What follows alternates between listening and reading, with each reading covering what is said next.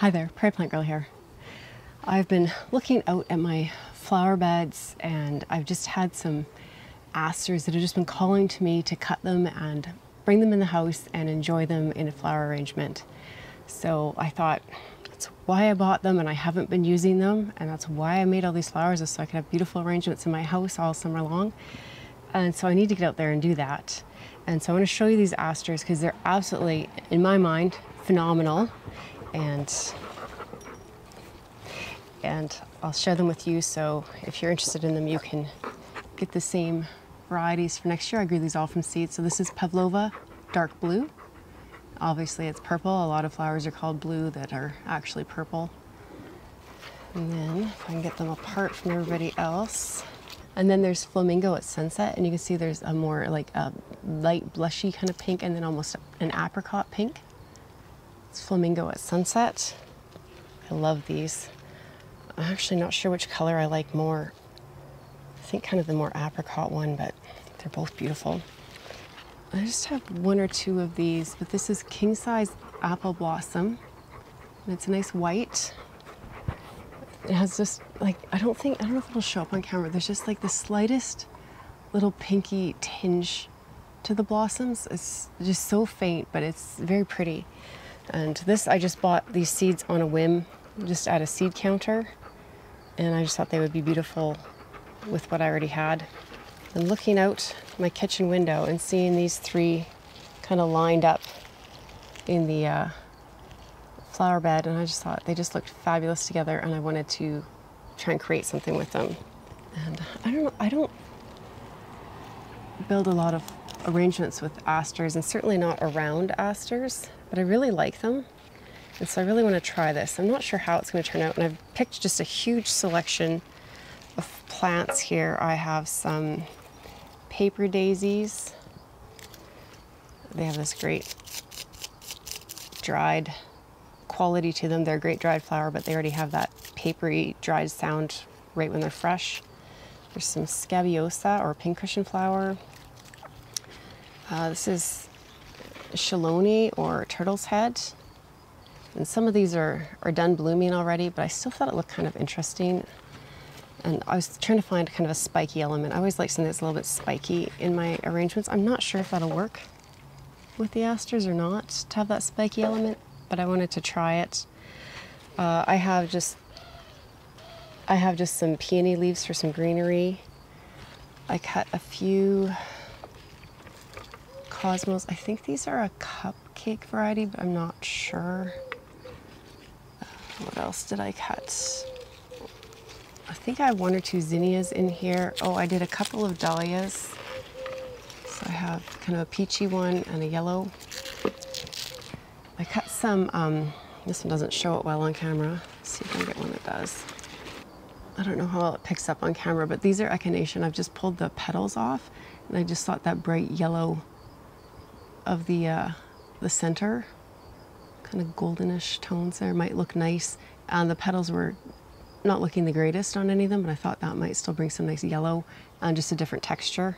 What else did I cut? Uh, I cut, I don't know if I did this on camera, a few of these snapdragons and they're pretty much past their prime, but I really liked the tones. I was trying to find some tones that would like blend nice with these. So we'll see how those go and I really wanted some little pops of like white or yellow or something.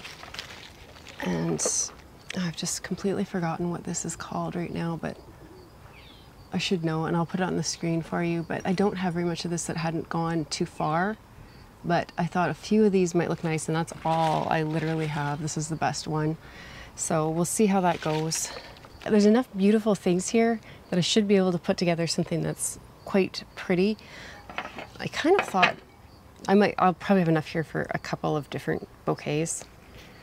We'll see how it goes, but I kind of thought I might try and do one that's mostly the asters down in this bowl.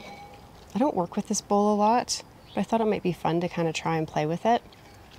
And then I brought out a taller vase too, so we'll see we'll see how this goes and hopefully we wind up with some pretty, pretty things in the end. uh, that might give you some inspiration to try things. But I think it's good to kind of challenge ourselves. I'm working with a few things here that I don't normally work with, but I love, and I'd really like to try and learn how to, to use them in cut flower arrangements. And I did use these pruners, these Fiskars pruners, if you saw my video where I just tried out a few new pairs. And I really got the hang of the, uh, the stem stripper. It worked really well. So I think that's, that is definitely a bonus with these. I still find this um, release just completely backwards, but that might just be me. So if I'm gonna put these in here, I'm just actually wondering, gauge how many I have. So let's see. Cut down, like some of these aren't quite open, and I'm not sure. I don't think they're quite at the stage where they will open, but I still think they'll look pretty.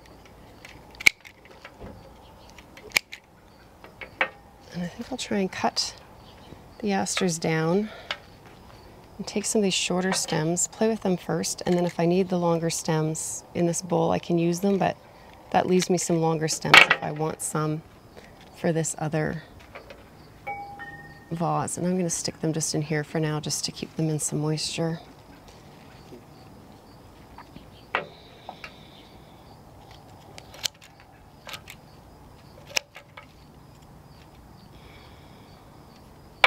leave that one.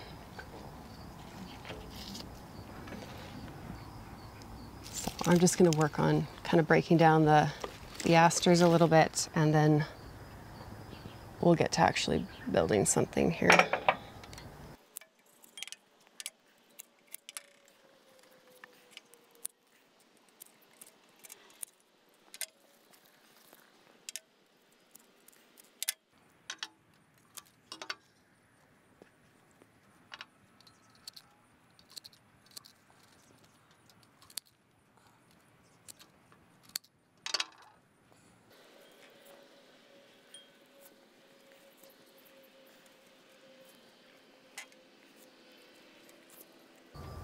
Now I've broken them all down into these smaller stems and I'm just stripping them real quick and just kind of putting them in a bunch. And uh, that's how I like to arrange things. You can arrange straight into the vase and for some people that's what works best. I kind of like to play with it in my hands and then I can put it in the vase and kind of fluff it up later. But this is kind of how I like working with it.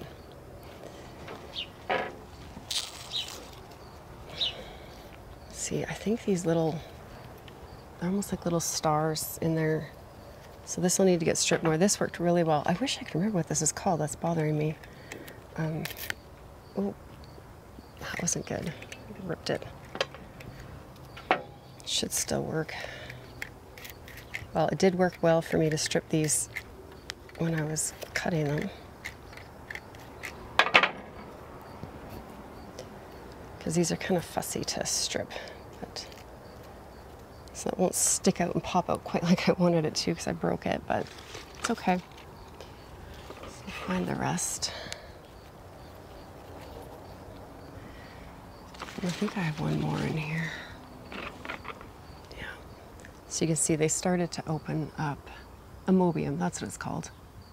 So it's nicer to have them, there's one here that's real tight white, and then two that have opened up with the yellow center. So a lot of times they just look better to work with them with just the white.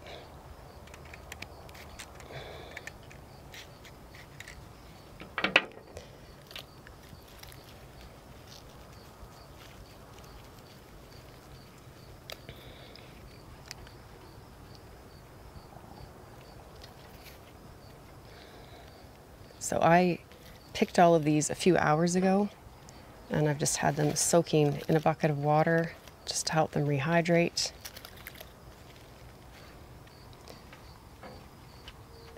What else do we want to put with this?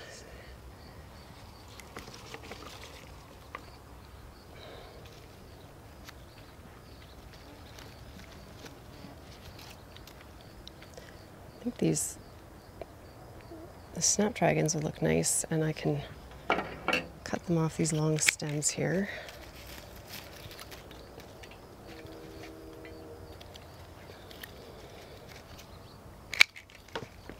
Some of the leaves off.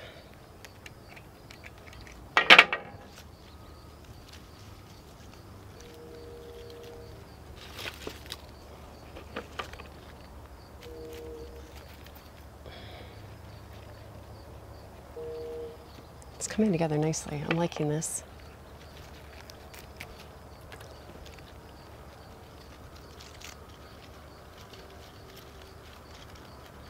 The snapdragons were growing kind of, they weren't growing upright. I don't have them staked. And it kind of gives a little bit more movement, which with this type of bowl, I think will be nice. Have them kind of spill over the edge a little bit.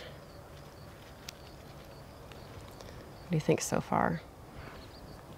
Kind of like a delicate little bridesmaid's bouquet or something. You know, for a more casual wedding, of course. So now I'll stick some of these aren't quite open and then I still have the whites in here, I think. Where did I put those white ones? Maybe they were the ones that weren't quite open.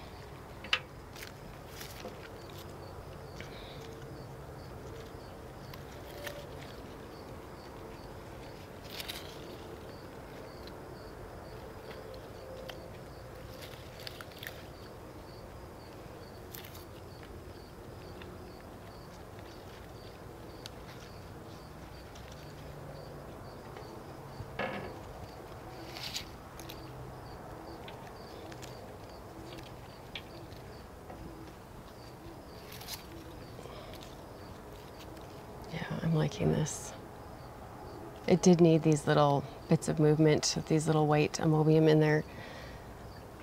I wish I had a bit more that was ready, but that's what happens when you don't cut your flowers. They don't produce as much.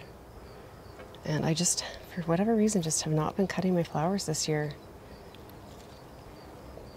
The wasps are terrible out here.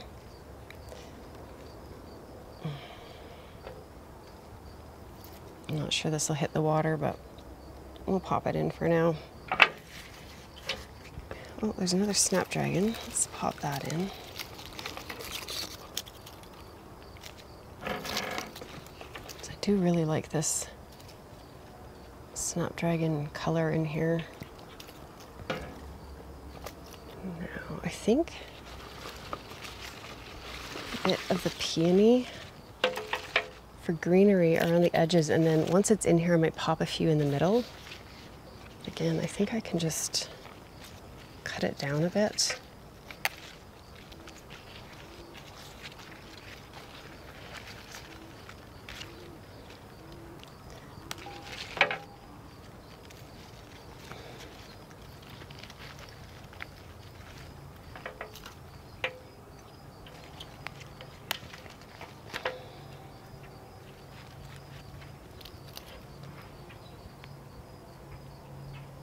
Liking that. So let's see.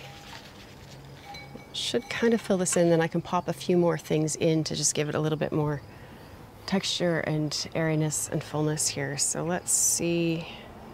I think if I could trim it about here.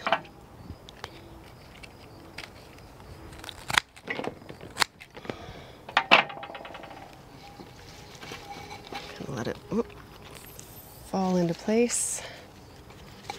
These bowls are always a little deceptive because they always need way more than I think they do, but let's continue with some of this greenery around the outside.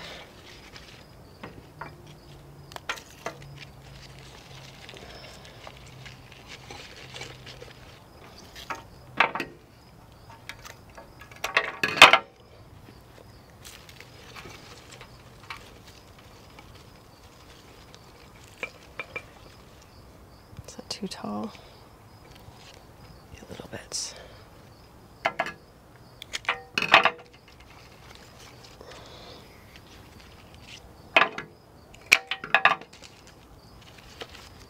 There.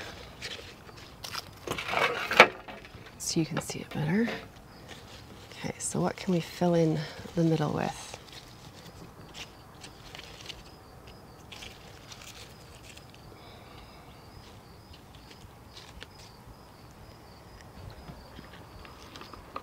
Do we want these guys? This one already broke. Let's see if we can tuck it in the water.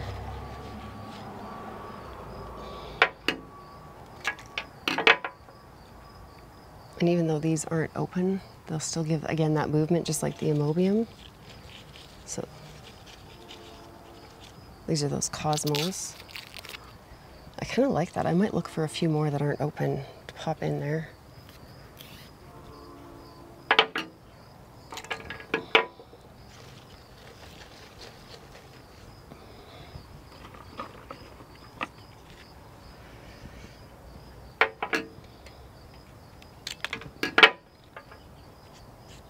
Oh, there's a bunch of thrips in there.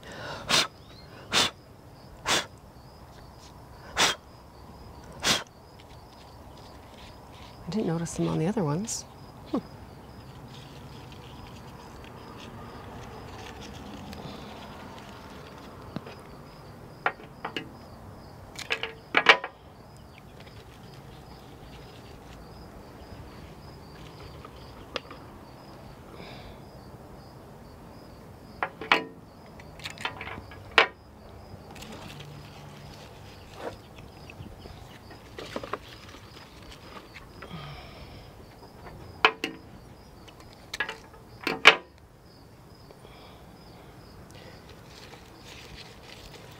Always like white in a bouquet.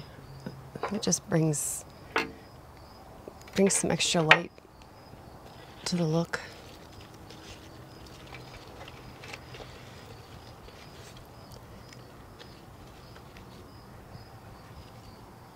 Something in here. Do I want?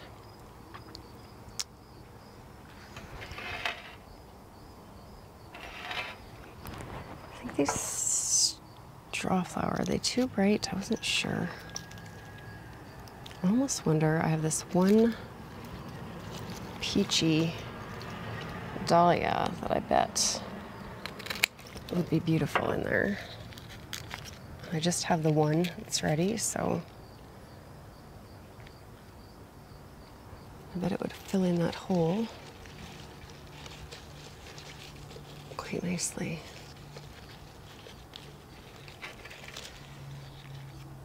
Yeah, that's nice.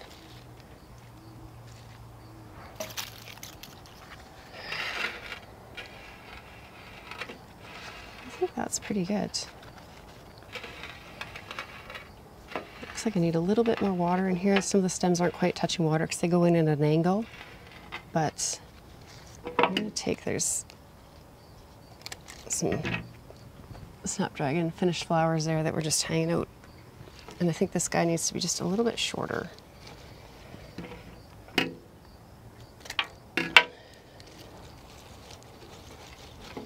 There. Yeah.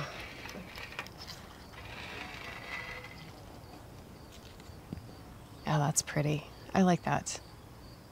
Okay, I am going to set that in the shade and put a bit more water in it. And I'm very happy with that. I could maybe put a bit more greenery in the center or down on this side. So maybe put one more.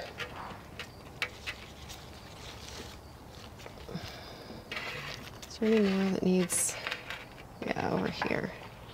We just need just a little bit more of that. Spider, you can stay out here.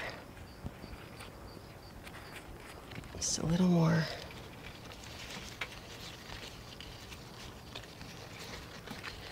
Greens.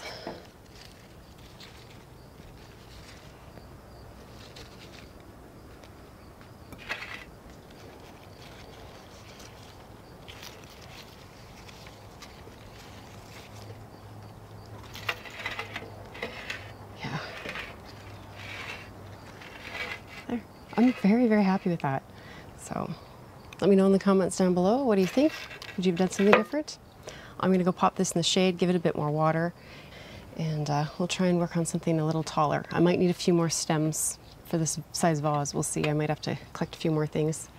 Okay, so I set that one to the side. The sun is really coming out and it's a hot day, so I'll try and work a little faster here on this one. And I just realized I was wrong. I had two of these. So there's a little fly on there trying to enjoy the last bits of this plant. We'll see. I might wind up popping that into that other one and let it sit here in the water for a bit. So let's go with this yellow dahlia. And I'm just gonna kind of leave these mums here and we'll try and arrange it right in this vessel of water so not out of the water too long because it is hot out.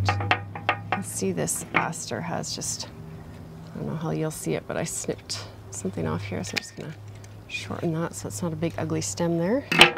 Make sure these are all in the water. Okay.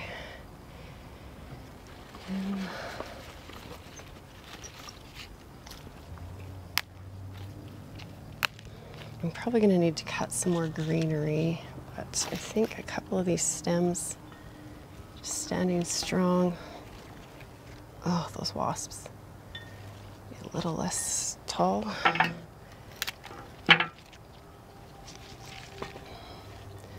I used to always put the greenery on the outside, but I find sometimes having it inside a little bit can be just as powerful of an addition. Yeah, okay. So now let's go with these guys.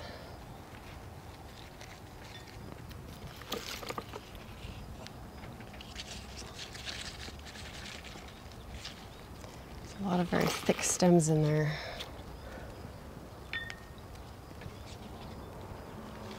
Spread those out a bit.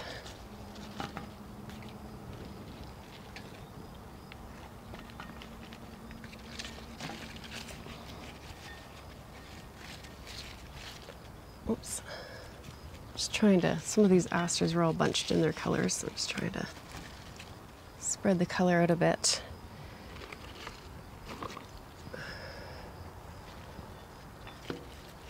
Love this uh, turtle's head or chelone.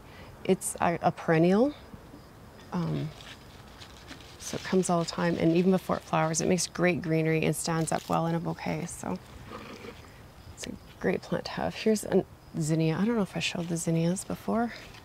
I think I just had one. And there's those straw flowers.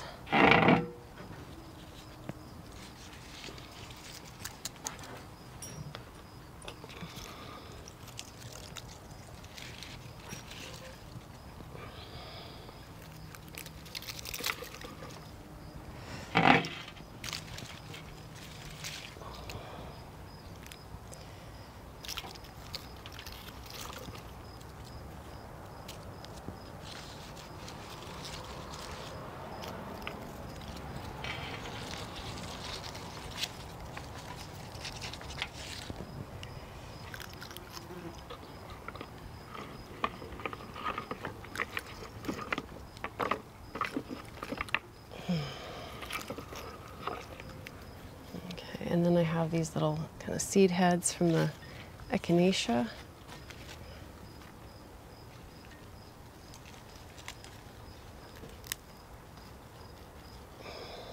I just broke one of these.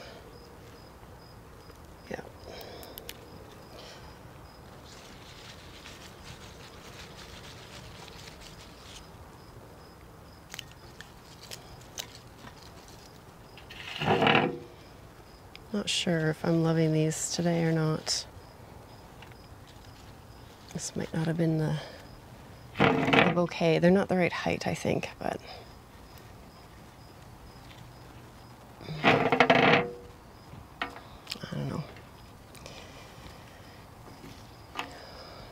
And then we have this scabiosa. Oh, there's a. I could tell there was one more straw flower by the sound when I was separating them.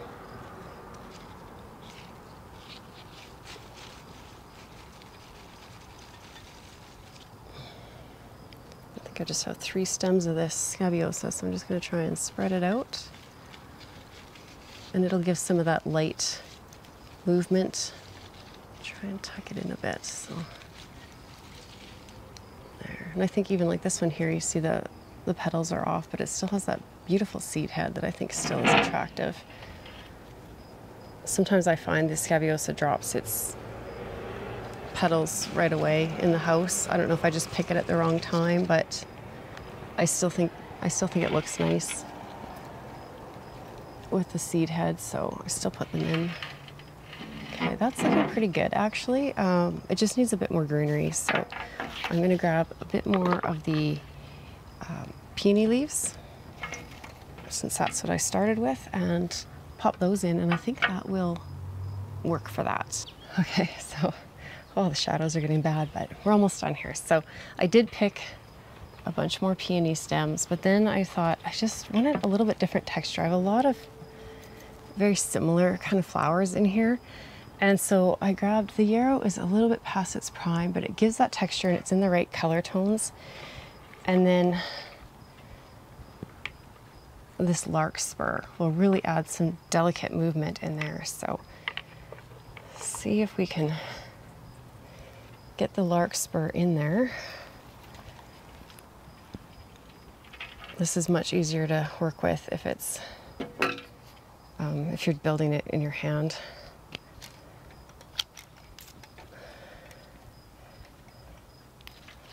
Try and strip some of it down. The stems of this are so delicate. I don't want to use the stripper because I think I might break them. Okay, so let's see if we can get that tucked down into the water. Spread it out. Can you see that? I don't know, I don't know how well it shows up on the camera. Turn, do the same thing on the other side.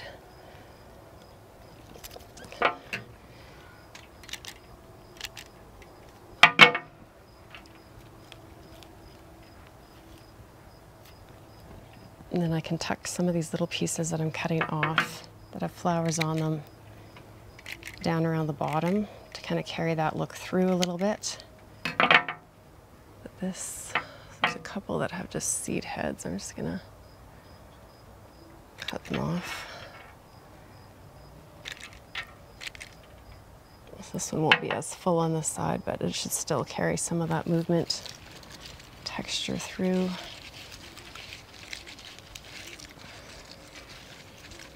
I can get it worked down to the water. There, you can see, hopefully see how those are in there. And then I take these guys, just kind of tuck them around the edges down into the water.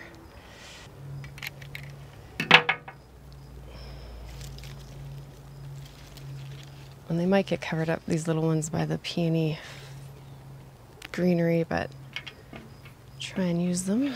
There we go. Okay, so we'll do the greenery. I want to just put that kind of around the edge a little bit.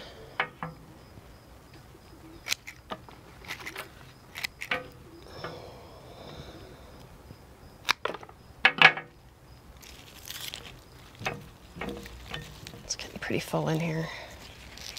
And we can just kind of poke some flowers through it.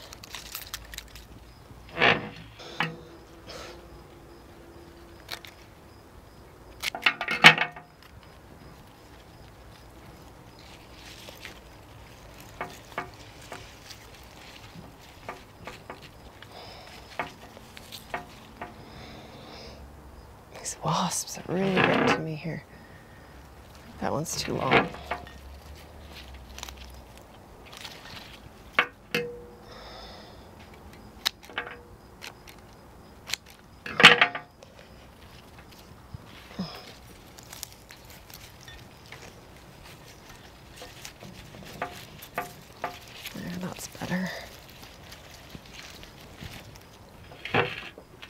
See, sometimes greenery and just a little bit of texture and it completely transforms something that's like, yeah, it's pretty, but it's not quite right to, this is what we wanted.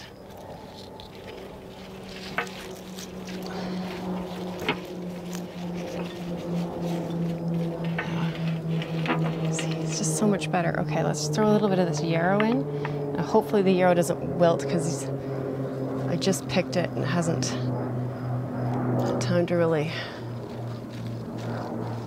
soak in some water, but it'll be in water here. I don't know, there's something about just cutting it and letting it sit in water that seems to do good for it.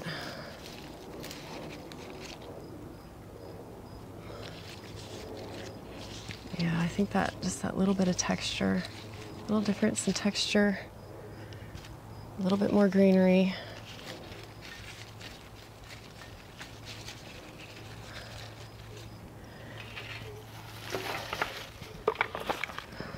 And that has it going from it was kind of ho hum, yeah, it's okay, cute little garden bouquet, to something that's actually quite beautiful. really happy with that. Okay, I just moved us into the shade a little bit here. I grabbed this one little dahlia. I'm gonna try and just find a little spot for it. Right there. Is that the right height? I need to go just a little shorter. trick is always pulling them back out to do that.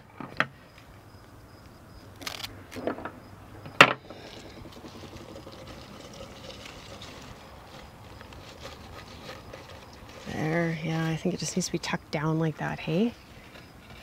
Oh, I'm so happy with these. Oh, I'm glad those asters were calling to me and I took the time to listen and come out and cut these because now I have two beautiful bouquets to put in my house, cheer up a couple rooms, brighten up a couple of rooms. I'll just have to watch not to bring all these wasps in with me. I can see three on this one right now. Uh, and so when you have your cut flowers like this, like I said, it's good to cut them early in the morning when it's still cool out and they've had time overnight to kind of rehydrate and then just let them soak in the shade somewhere for a little while to help, you know, let them get as much moisture into their stems as they can in a nice cool place. And then take them and recut them and put them into your arrangement how you want them. And then flowers will last the best if you just keep nice, fresh, cool water, not cold, but cool water, and keep them out of direct sun and heat. And they should last usually for five days. Some of them will last close to 10, and it'll just depend on, you know, the the point in, in time of the flowering that you picked them, the variety of flower that you picked, and that sort of thing, how long they're going to last. And like I said, some things like the scabiosa and even the larkspur will occasionally just drop their petals, but a lot of times they still have either an interesting seed head or just the, the stem itself, the leaves, that'll add just that still that texture or interest to the bouquet. So don't be afraid to just leave them in there even if they drop their petals. Also, don't be afraid if you have a couple of flowers that have um, kind of browned up, dried, didn't last very long for you, just pop those out and kind of move the other flowers around and usually you can, you know, make the arrangements still work and look beautiful and last longer that way. Thanks for coming along. If you enjoyed seeing this video, give it a thumbs up, share it with a friend, and we'll see you next time I'm out here in the yard and garden. Thanks for watching. Bye.